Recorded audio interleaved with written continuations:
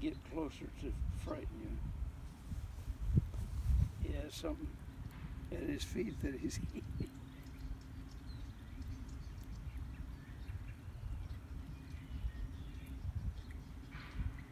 It's interesting that that he's staying there with us so close. Yeah, not threatened at all.